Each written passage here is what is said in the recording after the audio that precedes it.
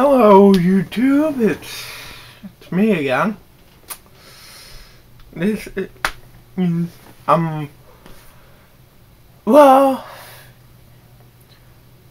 so um this is an exciting video I've been wanting to um make for a while, but haven't been able to. As you probably know by what I named the um, video.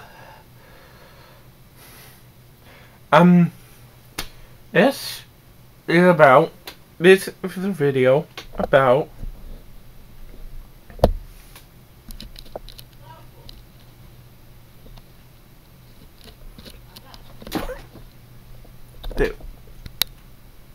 there we go.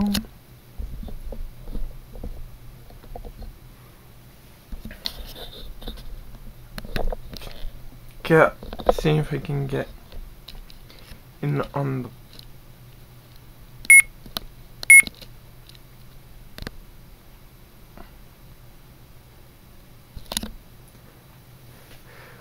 Uh, no. Okay. Oh, yeah, now you can see it. Commodore 64.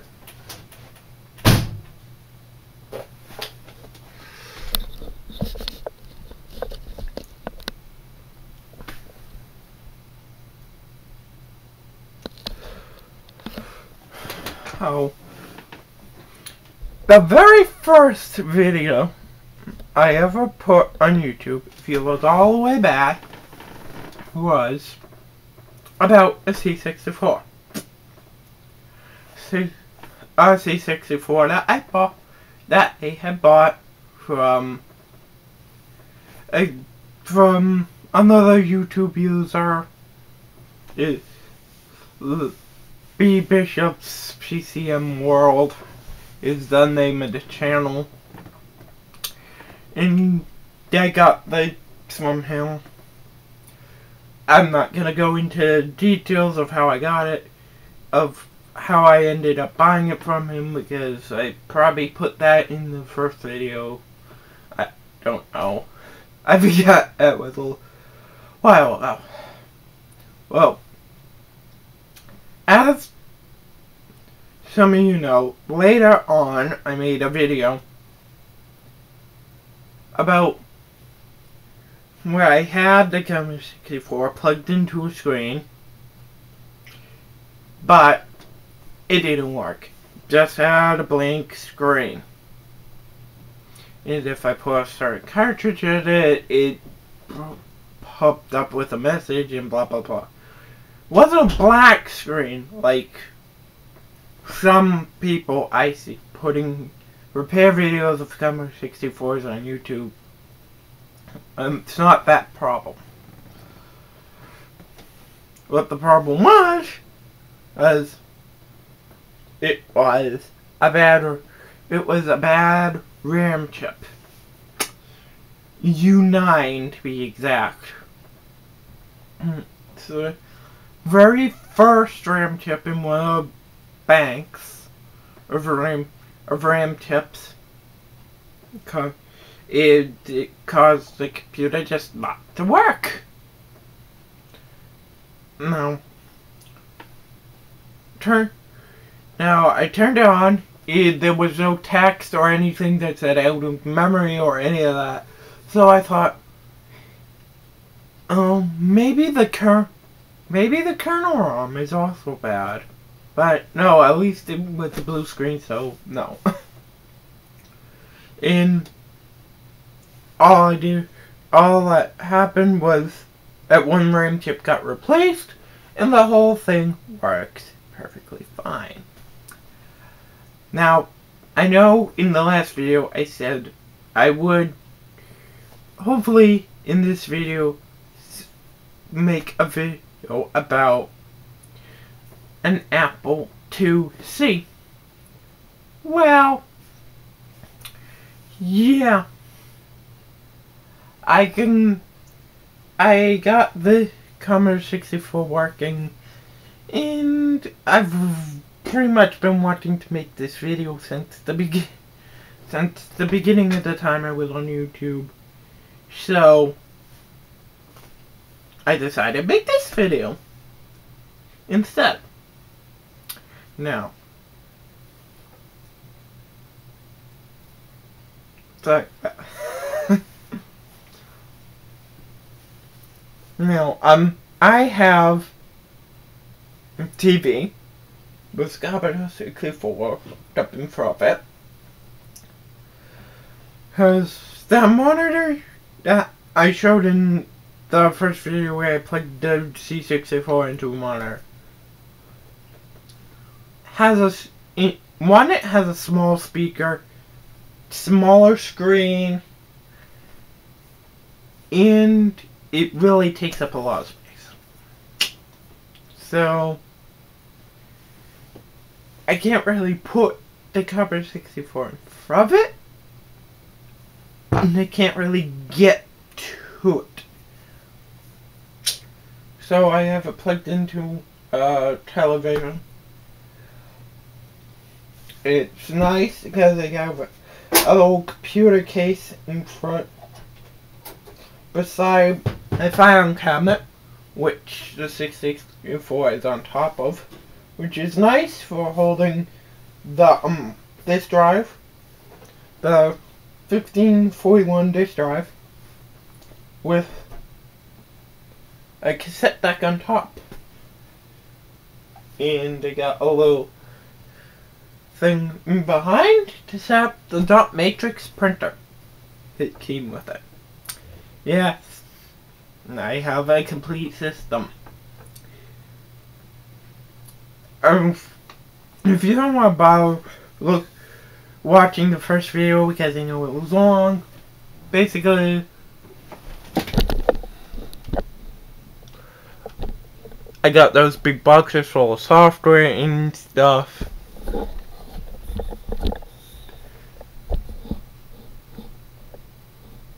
And I got that plastic tub that that's sitting on with a computer on top and all the this things and stuff.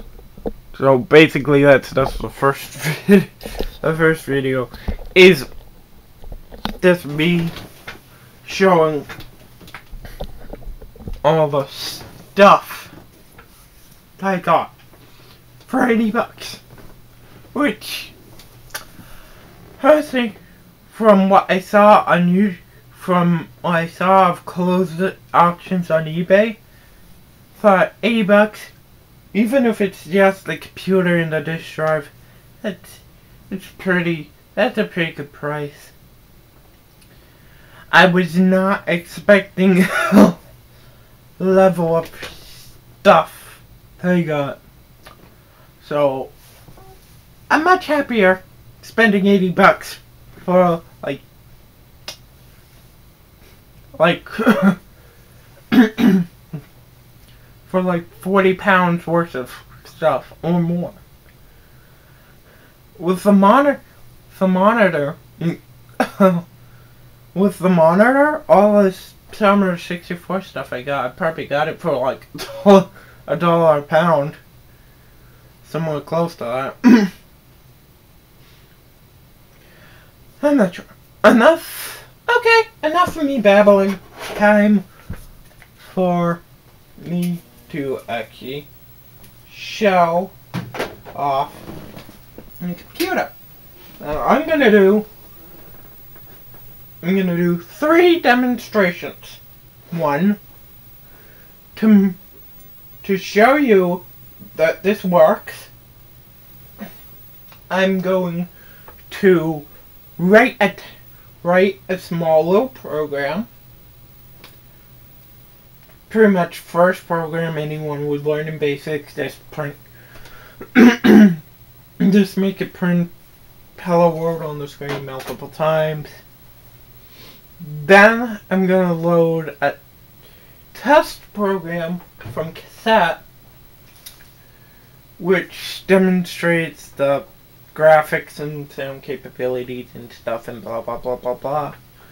And then I'm going to and then I'm gonna load word processor program from the disk, from the disk drive. So I could show you that the whole system is working. I know what you think, but that's not your whole system. You have a dot matrix printer. I know. I'll tell you the reason why I'm not going to show you that. Because, well, watching, one, watching dot, ma- a dot matrix printer print stuff, print stuff out on a piece of paper is boring. And two, I got a whole box of cartridge of ribbon cartridges for the dot matrix printer with it. I thought I was set for a really long time. And the guy that I bought this from thought that too. Well, unfortunately, all of those ribbons are dried out. Bummer. Now, there is multiple ways. I mean, there's multiple methods to be able to re-ink ribbon like that. And I've re-inked, I re did actually re-ink one of the ribbon r- ribbons. Unfortunately, while I was taking the cartridge apart and putting it back together, and putting it back together, the whole thing fell apart. It pieces of the old plastic broke. Basically, it's never gonna be able to be used as a cartridge in this printer again. So I just tossed it all in the garbage. Oh, I could probably keep the ribbon just in case I need any extra ribbon. I probably, I'll think of that. Probably because I got re-inked ribbon. So, if anything, I can use it on the typewriter. Cool. Somewhat.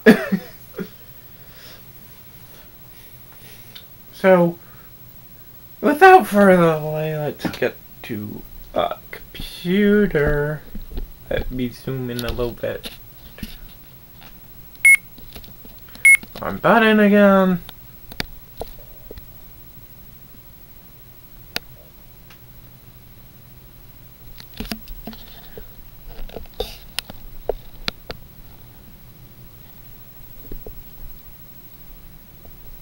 Let me get this correctly.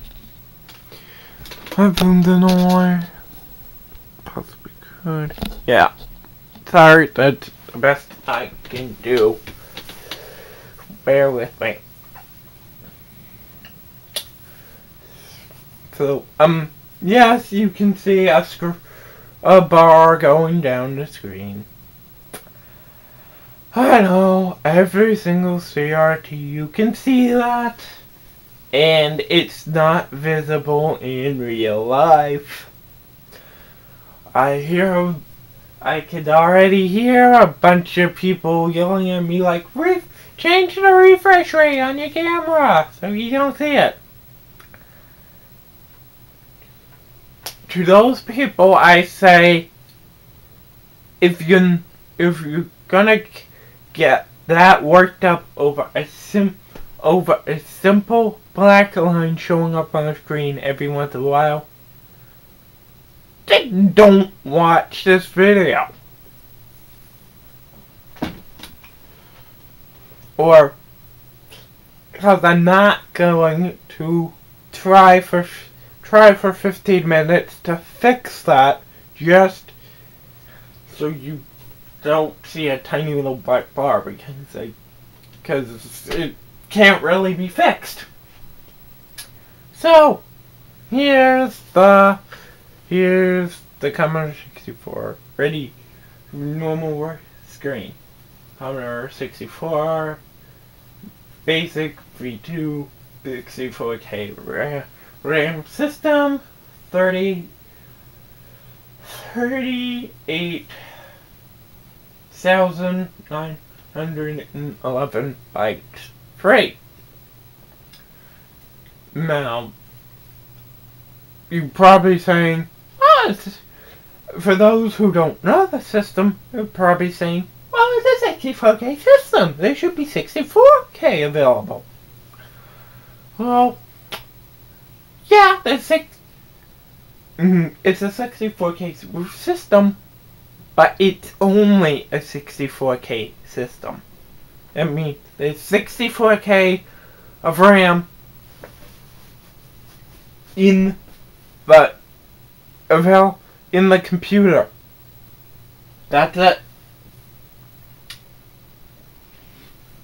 There's also 20k of ROM, which runs the kernel and character generation and blah blah blah blah blah blah blah. A lot, lot of, a lot of that stuff. So, why there's less RAM than the total amount of RAM in the system is, if you think about it, the computer has their 64 of RAM. So, if there was 64k available, where the heck would, where the heck would the screen you're, where the blue screen you're seeing come from? Where the heck would, would the um, audio ability of the computer come from?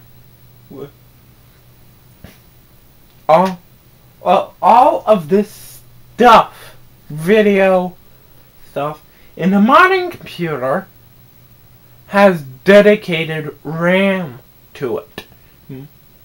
So like your graphics card has video RAM. So it has special RAM which only only deals with the um, video or only deals with the sound.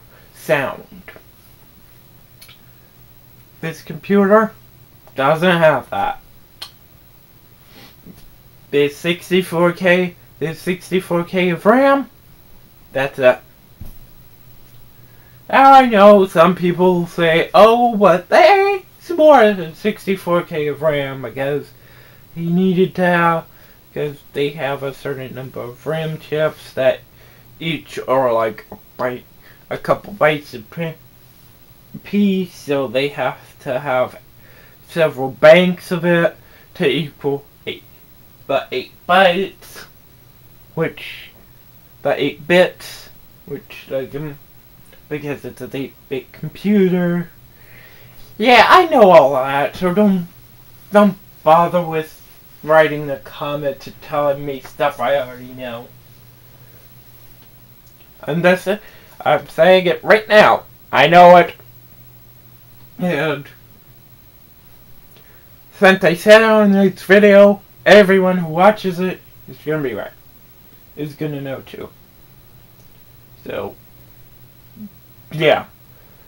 Um, the the 64k of RAM available, but is because of because of the chips only having a one or two, a couple bytes, and that has to equal eight bytes for an eight. I mean eight bits for an eight-bit computer. It might be more. There might be more than 64k of RAM. You know that, but only 60 only 64K is available to the computer. Has its because it's a 64K system and it's 8-bit, it need it needs to have six, 64 64K of RAM that's 8 bits. So be more RAM, but it could be double the amount of RAM, but if that double amount of RAM only equals a, if one bank, if there's two banks of RAM, that are four bits wide, it could be 188k of, the, of RAM in the system, but because it's only 8, because each one is only 4 bits wide, they needed they need to be added together to get the 8 bits, so only half the amount is available. Like there's some with uh, um Commodore 128 it was the case there was a there was more there was um a certain amount of RAM but they needed to add up to the certain number of bits so there's less RAM all in the system. Okay, I've babbled on for enough here. So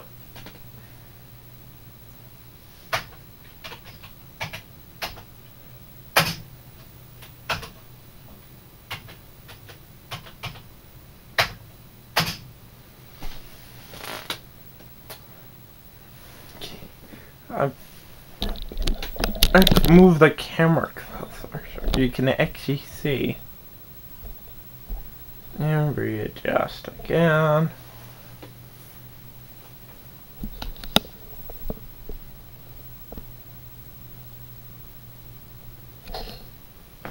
There. Perfect.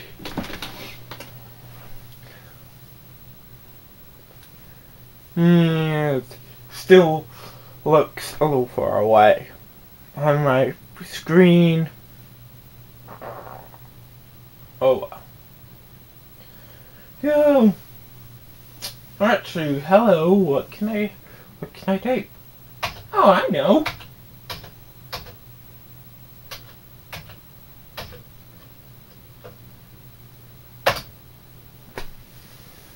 That's just one command because I forgot to put program number in.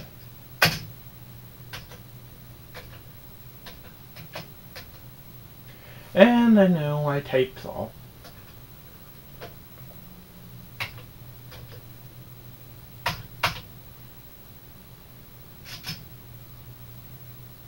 Not at that.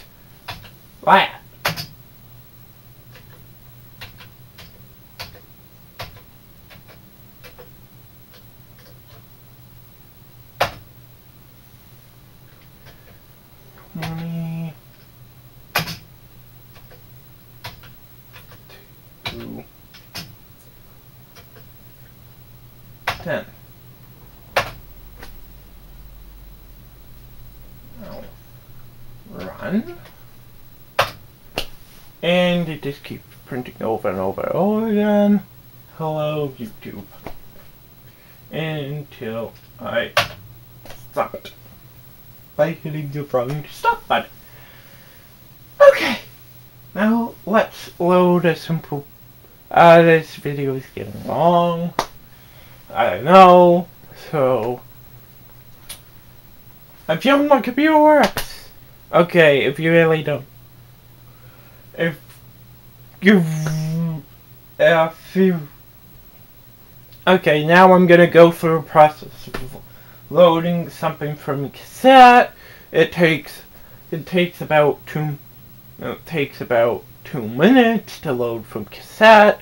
So when I start when I after it finds the program it takes a takes like two minutes to load load maybe more so I haven't time I timed the next program on it but not specifically this program I'm gonna load. So, I'm not exactly sure, but it's longer. Skip when it starts loading if you don't want to see blue screen. Skip two minutes in the video, and if it's still loading, it will hopefully be sort of done by then. So to load from cassette, I'll hmm, going to clear the screen. Perfectly blue screen. Type load. Just tell unless you go tell it from unless you tell it from disc, it will default to cassette. Oh, if I'm going to use the disk drive later on, I should probably turn that on. Or no, it was on. what am I saying?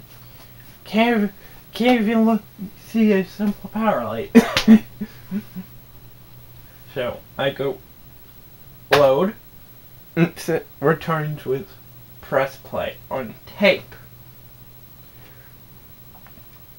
Now this is to start the tape playing.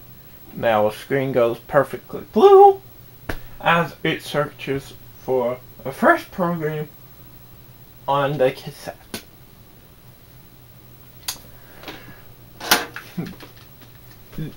This is not the tape I'm loading from, but this is pretty much exactly what it looks for. Okay, see? It says it found it. So, hit the Commodore key, and it starts loading it. This is what it looks like. 64, an introduction to Basic, part 1. This is tape 2, I'm loading for tape 1, but it basically looks the same. Pre, pre-programmed cassette.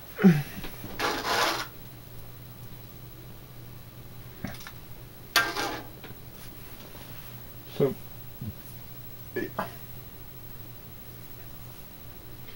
and it's only up to 24 on the tape counter. It has to get to uh, about 100, so this will take a while. It's at this point that I really wish I could just pause the video like I can on my phone. But, I, but unfortunately, the tape recorder, the um, camcorder I have to record has higher resolution, but it doesn't have the feature to pause the video while it's recording. Bummer.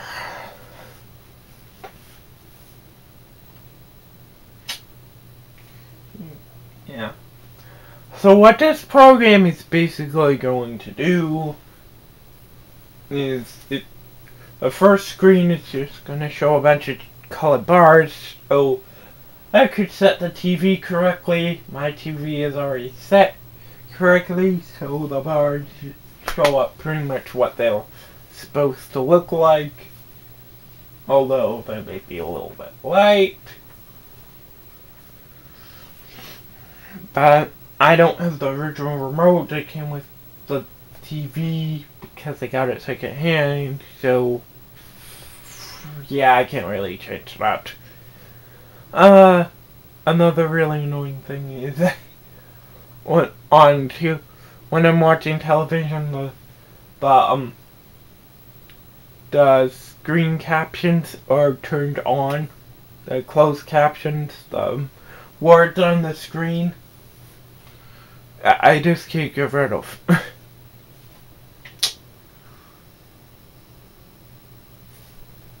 So, yeah. Up to 70 on the tape counter. So, has to go to about to just under a hundred on the tape counter, so still got a ways to go.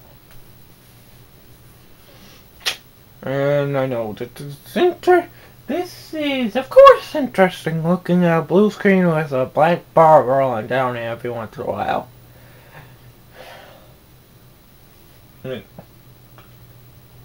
Well, hey, at least it's not like a black bar. At least the black bar doesn't take up like half the screen. It's just a tiny little black bar. Until I pointed out, some people may have already noticed that this is a really, this is a really high quality television. it's probably what it cost quite a bit new. Finally, it says, it says it's got gone back to ready, so it's ready. It has downloaded the program into the computer's memory and is now good. Now it's loaded into computer's memory. I do list. It does shows all the um, lines in the program. You say it's uh, but it's kind of big.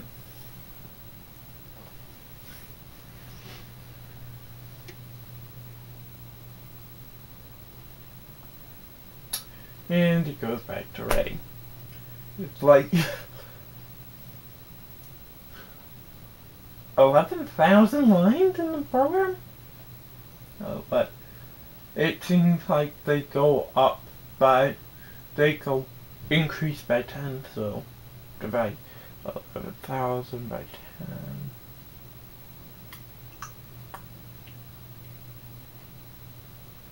10. It's somewhere around. I'm not sure. I'm gonna the math in my head as that would just take time away from the video. So I will take that. And white border. It has um, things. hmm Yeah, it's pretty good. And We'll start playing music in a second.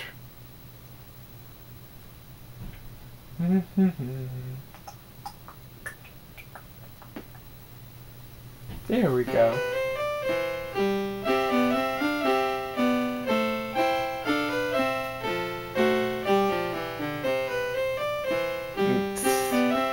Mozart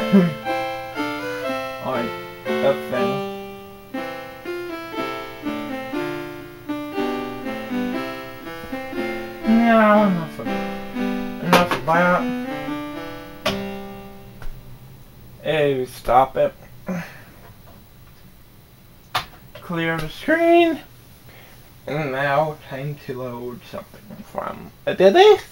The disk. Word pro a word processing program. So go load and in parentheses because the pro the start of the program is a star so star where the heck do things you see those splotches where those come from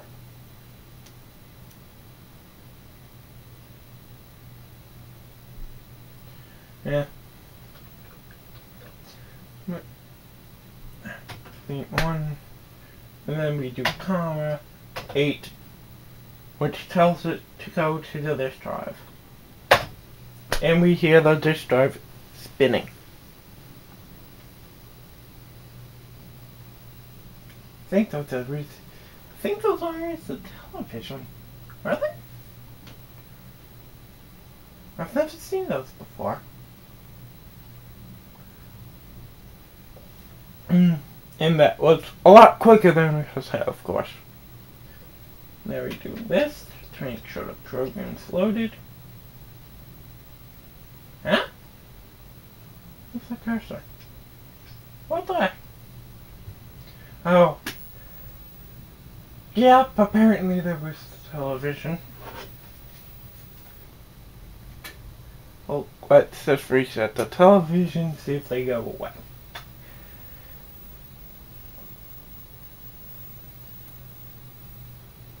And looks like no.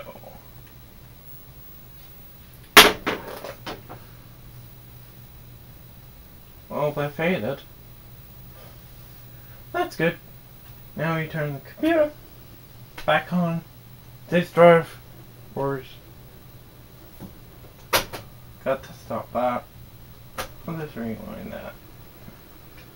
A type load again. And then shift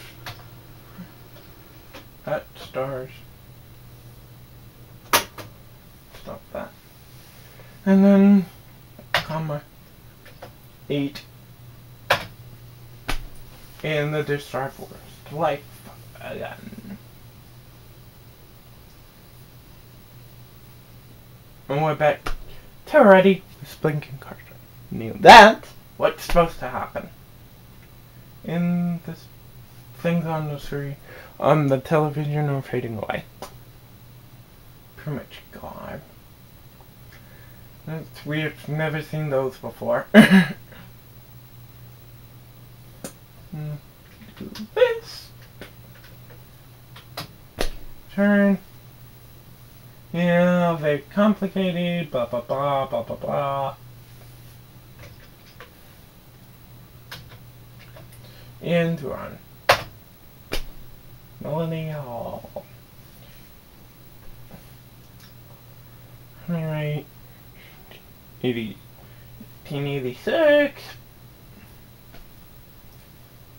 Okay.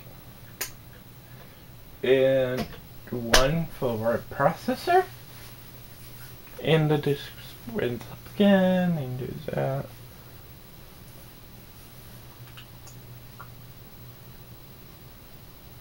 Do get one.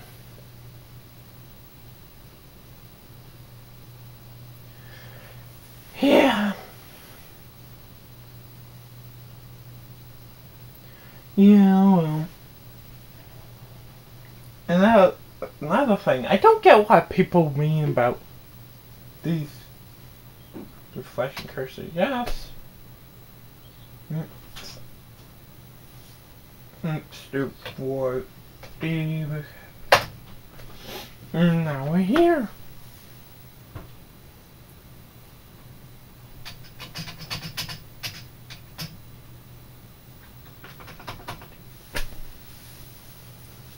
And here. And I can type whatever I want. It's lowercase. From the scroll Separate case. Yeah, I have to delete insert case. I have to do unchill flag. And then but as you can see, it's a nice one. so there.